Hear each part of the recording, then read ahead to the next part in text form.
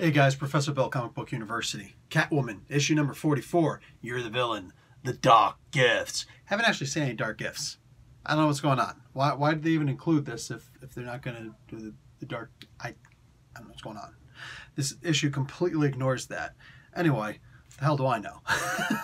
let's, let's get into who made this comic book and tell you why I still actually really liked this comic book. All right, let's get going. We got Ram V on story, Mirka Andolfo on art, Arif Prianto on colors, Saida Temofonte on letters, Joelle Jones and Laura Allred doing the main cover, and Stanley Artgerm Lau doing a variant cover of Catwoman Get Out of Town. You know it's sexy. You know it's sexy. I almost got it almost. Um, if all I did was go around buying Artgerm uh, covers, dude, I'd be broke. but let me tell you something, man. This was still a really, really good comic, even though it, like I said, doesn't pay any attention to the fact that freaking whatever, man, stuff happened. We get a character in here.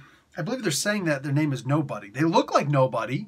This looks like Nobody doesn't talk a whole lot like nobody though. Remember the little girl from uh, Super Sons comics before, uh, and and the old um, uh, uh, Superman comic books before um, um, Bendis took over.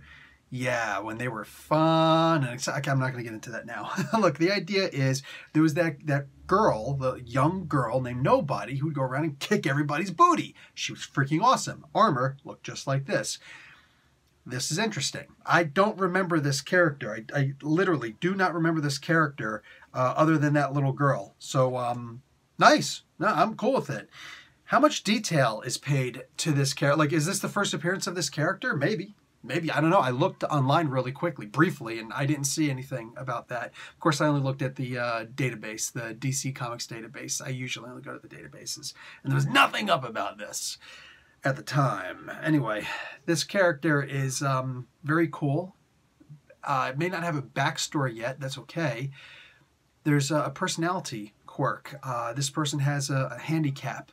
I forget what it's called in here, but they will like some kind of a cognitive interrupter that actually displaces words with each other. So he'll instead of saying like you know, uh, I'm gonna kick your butt, and they'll say like I'm gonna kick your um, building. you know, so they'll say something like that. Uh, first time I ever heard of this was on Doctor House. Uh, maybe it's a real thing. I guess it is. Either way, it's a real thing here. That's cool. Little tiny quirks like that. I don't know or care what this person's powers are at this point, although the powers are kind of cool. Um, what I do know is that this character is already somebody that I'm kind of endeared to because I know something about this character. that is cool. Ram V, freaking excellent writing. Gentleman Ghost appears in this also. Gentleman Jim Craddock. We just mentioned Jim Craddock over in issue number 14 of Hawkman, which was pretty interesting, and that is a Hawkman villain. Um, I'm totally down with uh, Gentleman Jim Craddock being here. I mean, he is a, a Gotham character. You know, I, I, don't want to say villain. He is a villain, but he's so much more, isn't he? Uh, and I think he was used very well in here. Uh, Gentleman Ghost is one of my favorite villains and uh, Villain Plus, and uh, I, I, do despise when he gets treated poorly.